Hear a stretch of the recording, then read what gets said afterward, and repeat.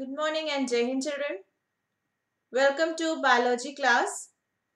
Children, uh, today we are going to start with the new chapter of bio that is chapter number 9 reproduction. So before this we were doing the chapter cell structure and function. So I have sent all the exercise of that chapter in the school app. So please go to e-content and do all the exercise of that chapter cell structure and function HOTS question were left that also I have sent you in the group that is in e-content.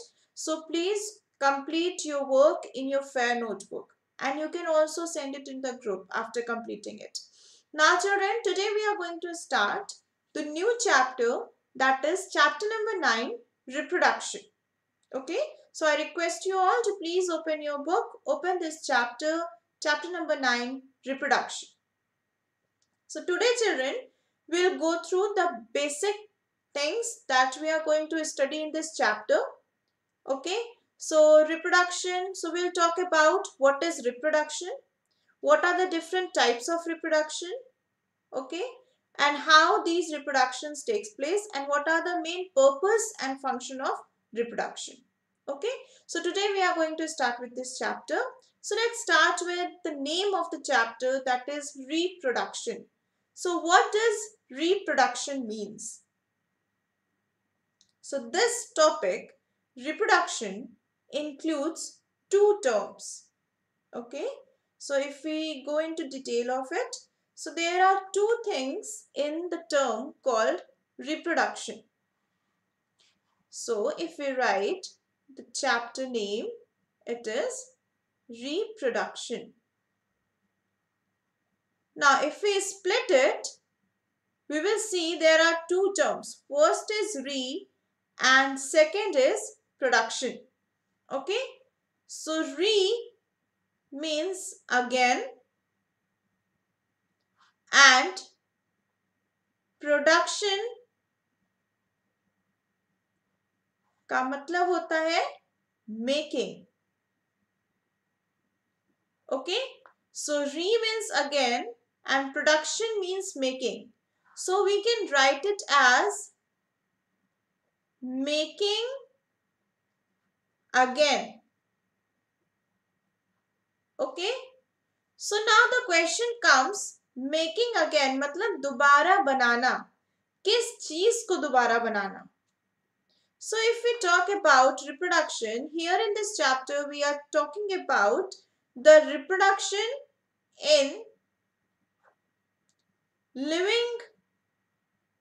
organism or our main focus is here humans. Okay. So reproduction in humans or reproduction in living organism. Reproduction का मतलब होता है making again.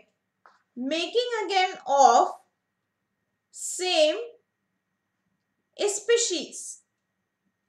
Now, what does that mean? The making again of same species. What does that mean? It means that if we have dog, so dog can produce dog itself or a puppy itself. Okay? Dog will not produce cat. Isn't it? Similarly, human can produce a young one of its own kind. Young one of its own kind. Okay. Similarly, if we have a mango tree, if we have a mango tree, so this mango tree will produce a mango tree only. Okay. If we have a mango tree, it will produce a mango tree only. If we have a human, so human will produce a human only. Dog will produce a dog only. Getting it? So, making again of same species is called reproduction. Okay? Dog can produce dog, human produces humans, tree, mango tree produces mango tree. So this is called reproduction. Okay. Making again of same species. This is called reproduction. Now the question is why we are reading this chapter and why it is important. So children, we know every now and then people die, isn't it? We are immortal. We are immortal. Humans or living organisms are immortal. Okay. So they need to die. Okay. They die. But still the generation keeps on growing. Okay. Generation keeps on growing. There is always one generation after other, one generation after other. Okay. So how does this happen? This happens because of the process of reproduction and reproduction produces the young one. तो कुछ लोग मर रहे हैं तो some are taking birth also. Okay, and hence it is maintaining the population. Okay, so death rate and birth rate is maintaining the population.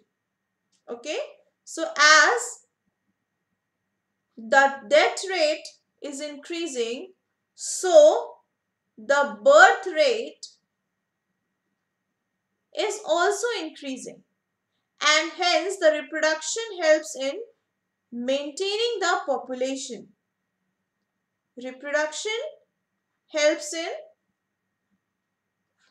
maintaining the population and hence keeping safe the species. Maintaining the population as well as keeping its species alive.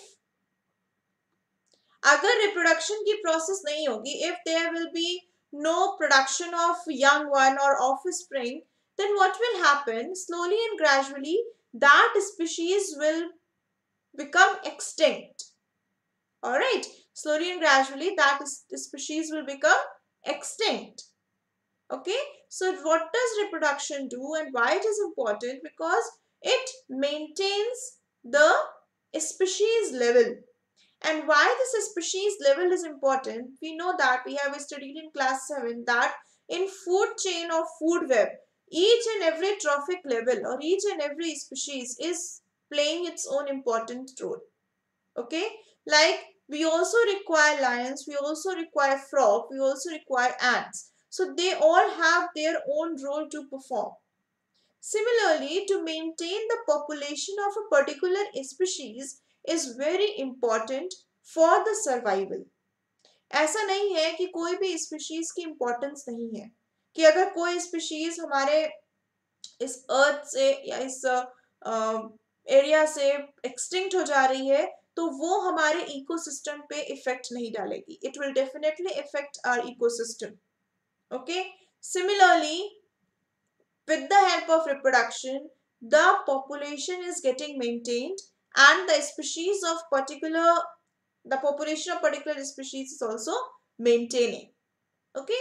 So this is the reproduction. I hope you have understood it. So what is reproduction? Reproduction is basically producing the young one.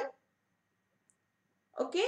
Or making again of same species is called reproduction clear i think it is clear to you and um this happens to maintain the population rate or to maintain the population of particular species. Okay. Now coming back to the chapter, let's see what is written here. So all living species ultimately die. However, life continues from generation to generation and that's true. Life continues from generation to generation. Though people die, but it continues from generation to generation. And why it does? Because of the living things produces young ones.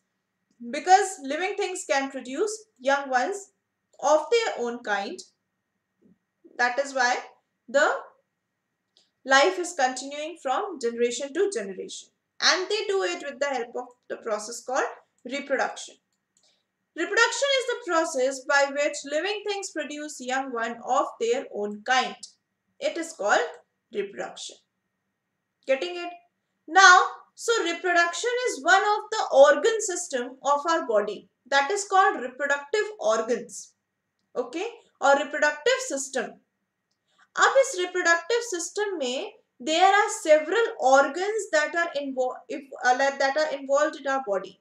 Okay reproductive system में भी बहुत सारे organs होते हैं हमारी body के जो involve होते हैं. Clear? Now, but See, apart from the reproductive system, we also have several other organ systems in our body like digestive system, circulatory system, we have excretory system.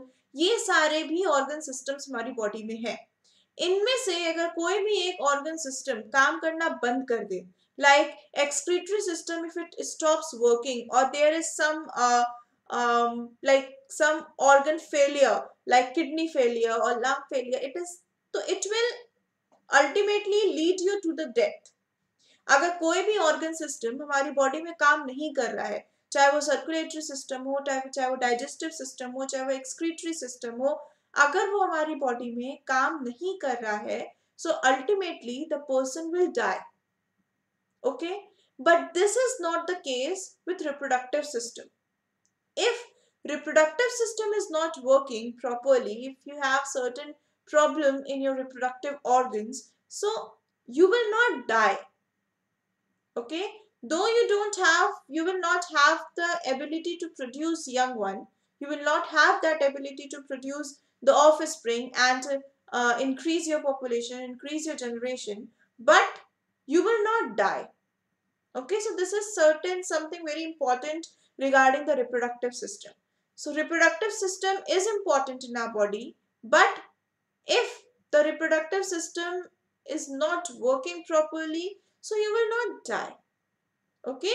But other than reproductive system like circulatory system, nervous system, then um, digestive system and if they doesn't work, if any organ in these system doesn't work, ultimately the person will die. Okay? So the same thing is written here. In living organism, if one of the organ system such as digestive, circulatory or excretory stops working, the organism will die. But reproductive system is not needed for organism to stay alive. ठीक है reproductive system important नहीं होता है for the survival. However, without without it, the organism cannot produce the offspring. So the person will not be able to produce the offspring, but he or she will not die. Okay. So that was about the, this is the reproductive system. Okay. Now, reproductive system or reproduction is a process that produces the young one. Okay.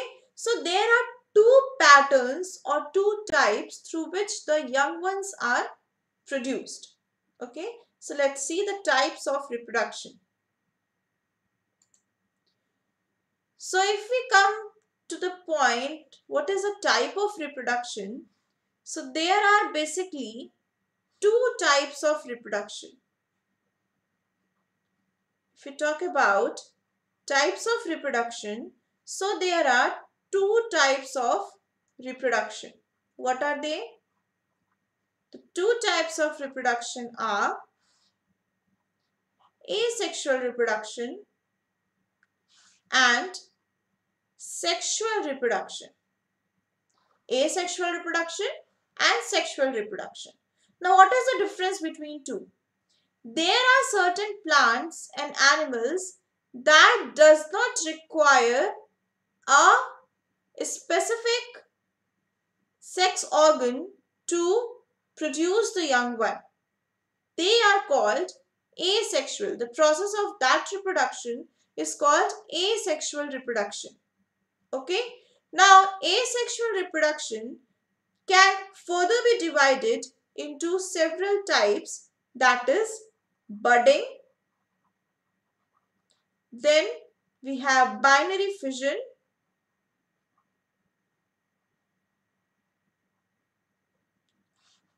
And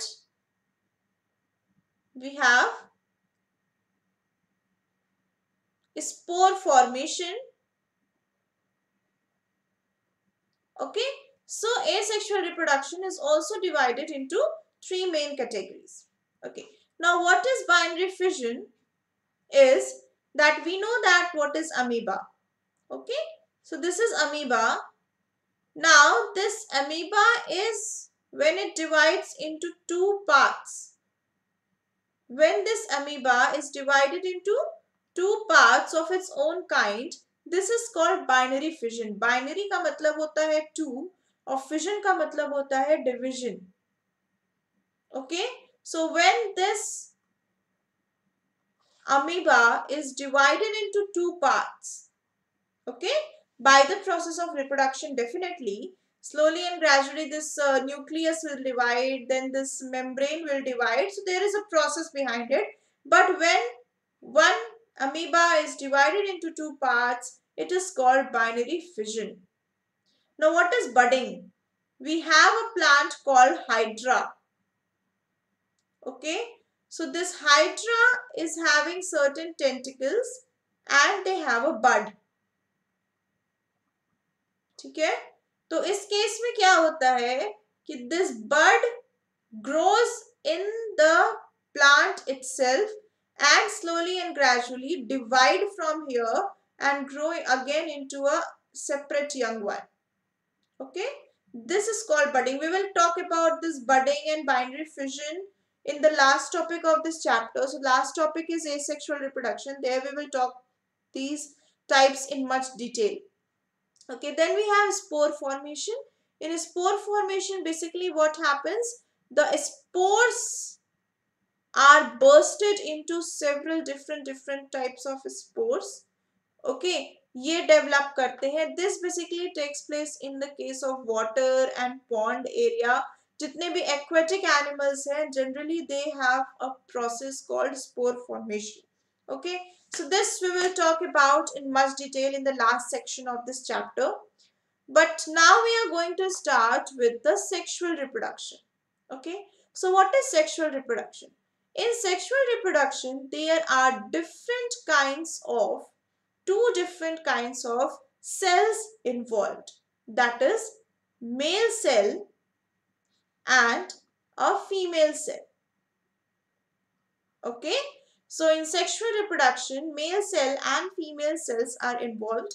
So males are having different reproductive organ whereas females are having different reproductive organs. Okay. Which produces cells that is male cell and female cells. Male cells are called sperm cell and female cells are called egg cell. Okay. Now these female cell or these male cells are produced from male reproductive organ, male reproductive organ and egg cell is produced from female reproductive organ. Okay. This sperm cell is produced from male reproductive organ and egg cells are produced from female reproductive organ. Okay. So, in sexual reproduction, two different types of cells are involved, male cell and female cell. A sperm cell and egg cell they are called and they are produced from male reproductive organ and female reproductive organ. So in sexual reproduction, this sperm cell and this egg cell fuse together to produce the new young one. This sperm cell fuse together to produce a young one. Okay. This is called sexual reproduction. In sexual reproduction, what happens? In sexual reproduction, male and female cells fuse together to produce a new young one. Okay, so that is a female reproductive organ. Just a second. Okay. So is it clear to everyone? Let's see what is written in the chapter. Let's come to the chapter. Achha, one more thing before that. We know that all the species, all the living organism does not produce the young one of its own kind. Some produces eggs, some produces babies and some produces the, some are produced in the parental body only. Okay, so let's see what is written. As in plants, there are two types of reproduction in animals also. We have sexual reproduction and asexual reproduction. There are varieties of ways in, ways in which animals reproduce. For example, some animals produce reproduce by giving birth to the babies like humans and cows. Okay, but birds and snake generally produce hatches egg. Okay, they lay egg. Birds and snakes lays egg. So we know that they are called viviparous and oviparous that we have studied in class 7. In Hydra, the offspring grows out of the parent body. In amoeba, they splits into two. So there are several different types and patterns of reproduction in case of animals. Okay, so we'll talk about the sexual reproduction. Basically, sexual reproduction takes place in the multicellular organisms such as insects, reptiles and mammals. So sexual reproduction takes place in insects, reptiles and mammals. What happens in sexual reproduction? Sexual reproduction involves the fusion of female and male reproductive cell to form a fertilized egg that grows into organism. Okay. So a female cell and male cell they both fuse together to produce a new young one. Okay. So this process is known as sexual reproduction. Getting it?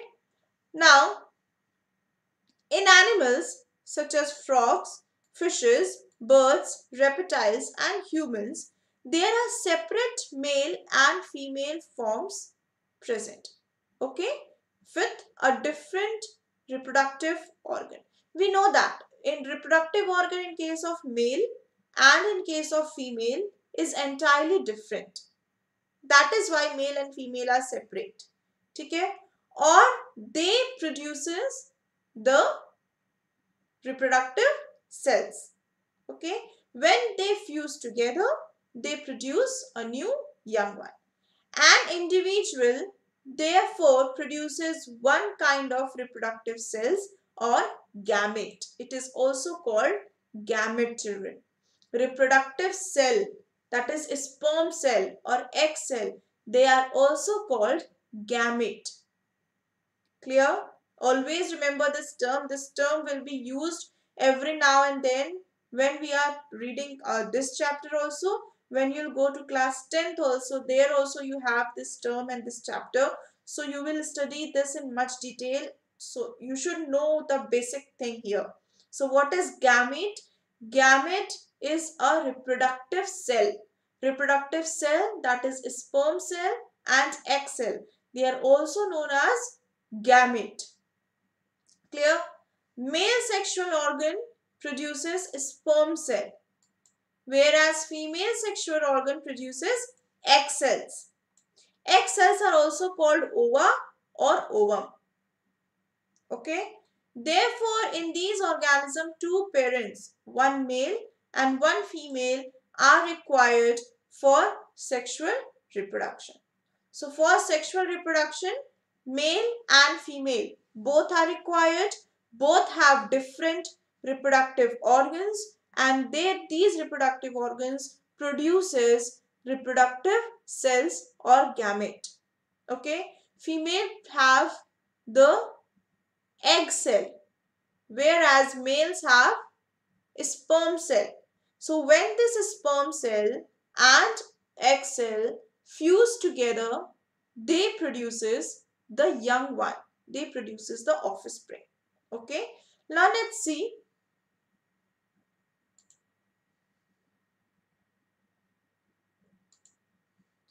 Just a second children. So we are clear about the types of reproduction. So there are two types of reproduction. Asexual reproduction and sexual reproduction.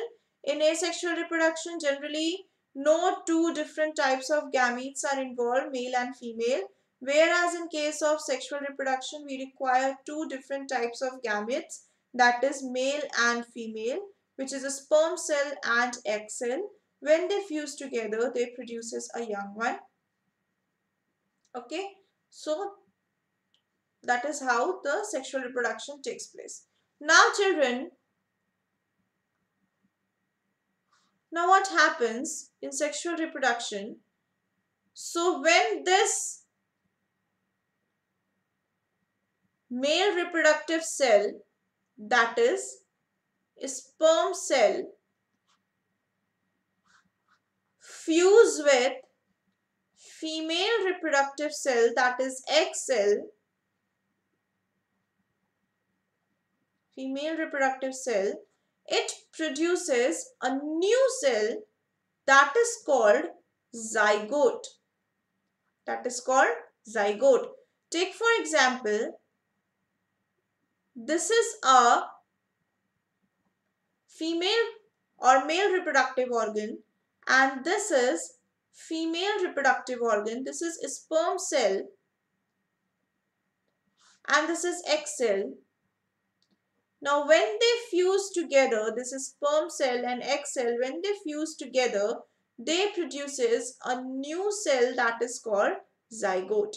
Now this zygote starts to develop and takes several months to develop and develop it into a young one with the help of cell division. So here the cell division comes into frame which is cell division. And you know what happens in a cell division. One nucleus divides into further nucleus and cell membrane divides into further cell membranes and a एक cell से दो cell दो cell से चार cell ऐसे बनती हैं so in the same way this zygote which is one single cell divides with the help of cell division and produces the young ones okay so this is the complete process of sexual reproduction और इसके लिए we require female and male separately